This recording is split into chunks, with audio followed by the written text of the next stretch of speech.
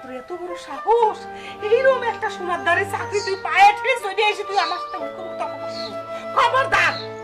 খবরদার তুই যদি আমার সাথে কোনো কথা কবে আইছু, আমার যদি দরদ দেখে বেড়াইছু।